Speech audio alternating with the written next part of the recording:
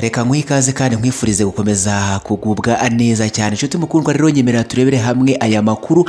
Ni amakuru akomeje kugenda agarukaho cyane kuri Ariel Ways Juno Kizigenza ndetse eh, n'umukobwa. Usigaye yaramamaye cyane ah, ku mbuga nkoranyambaga hano mu gihugu cy'u Rwanda. Akaba ngo yariyise ngo ni Joyeuse wa Juno. Amakuru rero akomeje kugenda agaruka kuri aba bombi rero ntabwo ari amakuru ashimishije ni ibintu ah, bitari byiza cyane. Rero bwa mbere ubanye natwe ntakiri tugusaba rero ah, turagusaba gukora subscribe ukora subscribe ubundi ntiwibagirwe no gukanda ukazogera kugira inkuru zacu ujye uzibona gatanu kuri gatanu. Ni urugero cyane reba munsi ya video yawe urabona ahantu handitse subscribe mu ibara ry'umukara ubundi uhakande ntiwibagirwe gukanda ku nzogera ubundi inkuru zacu nitujya tuzishyiraho ujye uzibona. Gatanu kuri gatanu. Kora share kora share aya makuru yasangiza inshuti n'abavandimwe ikindi eh, ntiwibagirwe gukora like umanuke hasi ino muri komenti ube wasiga igitekerezo cyawe. N'amakuru rero akomeje kugenda agarukwaho amakuru atari meza cyane hagati ya Ariel Ways ndetse n'uyu mukobwa usigaye yaramamaye cyane ku mbuga nkoranyambaga hano mu gihugu cy'u Rwanda. Dore ko ngo yaje kuba yanasohora indirimbo aho ngo yari yiririmbiye Juno Kizigenza. Uyu nta wundi rero ni umukobwa urimo kugenda ayigaragaza cyane ku mbuga nkoranyambaga hano mu gihugu cy'u Rwanda.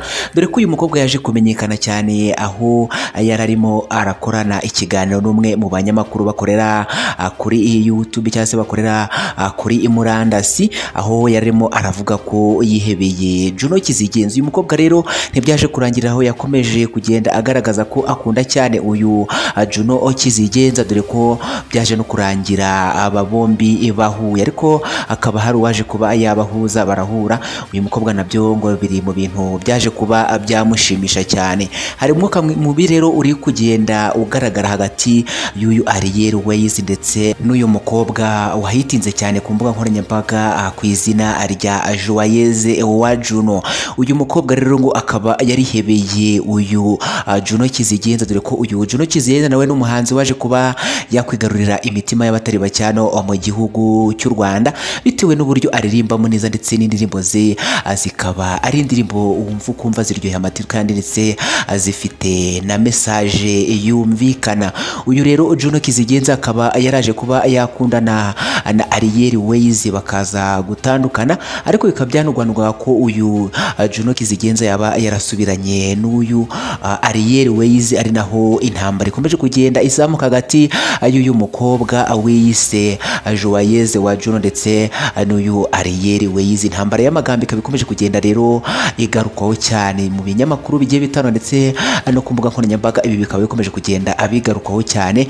By'iyi intambara cyangwa se by'uyu mwuka mubi uri kugenda ututumba hagati uh, y'uyu mukobwa Joyeuse wa Juno ndetse uh, n'uyu wari usanzwe asanzwe akundana na Juno Kizigenza. Ari we Ariel Ways dore ko n'uyu mukobwa yagiye yigarurira imitima y'abanyarwanda benshi bagiye batandukanye bitewe n'uburyo azi kuririmbamo neza cyane. Uyu mukobwa nawe rero um, hano mu gihugu cy'u Rwanda ni umukobwa uzwi cyane mu ndirimbo zigiye zitandukanye akaba yaragiye yigarurira imitima y'abanyarwanda abenshi bagiye batandukanye bitewe uh, n'uburyo aririmbamo neza. Uyu mukobwa rero akaba atari kumvikana neza ngo n'uyu Joyeuse wa Juno nk'uko biri kugenda bigarukaho mu itangaza amakuru aba bombi rero impamvu batari kumvikanaho ngo nuko uyu Joyeuse wa Juno akunda Juno Kizigenza ndetse n'uyu Ariel Ways nawe ngo akaba agikunda Juno Kizigenza. Intambara ikaba ikomeje gututumba hagati y'aba bombi ariko se ibintu biri kugenda bikomeza kwibazwaho uyu mukobwa wiyise Joyeuse wa Juno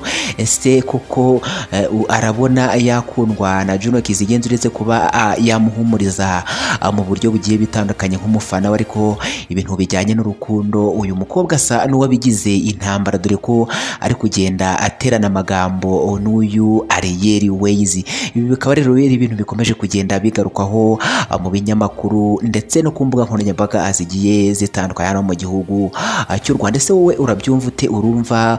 Uyu mukobwa yakomeza kuzamura izi bifu hagati ye ndetse na Ariel Ways dore ko Ariel Ways ari umukobwa witeje imbere ndetse wanamenyekanye hano mu gihugu cy'u Rwanda ufite ifaranga rye. Dore ko ngo bivugwa ko yubatse ikofi cyangwa se ngo yakoze ikofi mu mvugo za abubu ngo abazi kureba kure bakaba bagira inama uyu mukobwa Joyeuse wa Juno ko akwiye kuba yagenza make kubera ko ibyo arimo atazi. Atazi ibyo ari byo.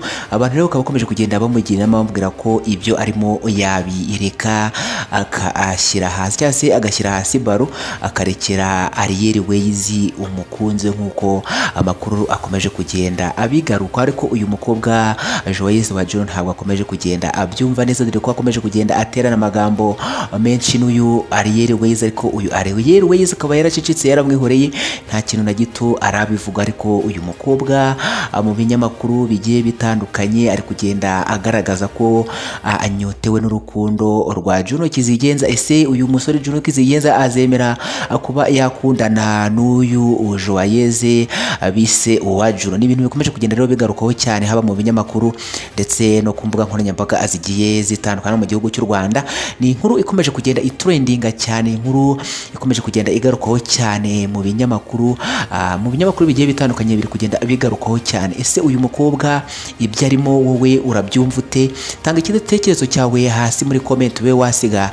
Igitekerezo cyawe nawe ugira icyo ubu wabivugaho. Niba ari ubwa mbere rubanye natwe nta kindi tugusatira gusaba gukora subscribe ni ibintu byoroshye cyane. Kora subscribe kugira ngo inkuru zacu ujye uzibona gatanu kuri gatanu. Kora subscribe ntiwagiwe no ukanda ukazogera ubundi tujye tubana gatanu kuri gatanu. Ni inkuru byoroshye cyane. Reba munsi ya video yawe urabona ahantu handitse subscribe mu ibara ry'umukara ubundi uhakandi ntiwagiwe no ukanda ukazogera kugira inkuru zacu ujye uzibona gatanu kuri gatanu. Kora share kora share amakuru yasangiza inshuti n'abavandimwe ikindi ntiwibagiwe gukora like kora like ubundi umanuke hasi no muri comment ube wasiga igitekerezo cyawe. Wakoze kuba natwe rero ciao ciao amakuru naka agaruka yes nanone reka tunyarukire ku nkuru nanone ikomeje kugenda igarukaho mu binyamakuru ndetse no ku mbuga nkoranyambaga zigiye zitandukanye yitwa Chris Easy. Uyu nawe akaba yaramenyekanye hano mu gihugu cy'u Rwanda mu ndirimbo zigiye zitarwa. Dore ko ari umwe mu bigaruriye imitima y'abatari bake hano mu gihugu cy'u Rwanda cyane cyane abakoresha imbuga nkoranyambaga. Inkuru ikomeje rero kugenda igarukaho cyane.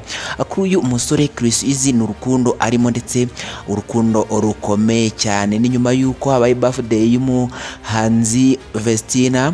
Uyu akaba ari umwe uririmbana na Dorcas bakaba bagize itsinda abise Vestine ndetse na Dorcas baririmba indirimbo zo kuramya no guhimbaza Imana. Uyu Vestine rero amakuru akomeje kugenda agarukaho nuko ngo ari mu rukundo bikomeye cyane. N'uyu musore Chris Easy ikaba ari inkuru yishimiwe n'abatari bake cyane cyane abakunzi b'uyu musore Chris Easy bitewe n'uburyo yaba yararambagije ndetse akaba ngo yararambagije neza uyu mukobwa Vestine akaba ari umukobwa witonda cyane nk'uko amakuru akomeje kugenda abigarukaho cyane. Akaba ari intsinzi ikomeye cyane rero uyu musore Chris Easy yaba yaje kuba yagerayo biramutse. Ibingibi ari byo bikomeje kugenda bigarukaho mu bitangazamakuru ndetse no ku mbuga nkoranyambaga zigiye zitandukanye. Iyi nkuru tukaba turi buze kuba twayibagezaho mu makuru yacu y'ubutaha. Tumaze gucukumbura neza kugira ngo tube twamenya neza urukundo rw'aba bombi rukomeje kugenda rugarukwaho ku mbuga nkoranyambaga ndetse no bigiye bitandukanye reka tugushimire gufasha umwanya ukaba natwe wakoze kuba natwe rero cawo cawo bye bye amakuru nakagaruka.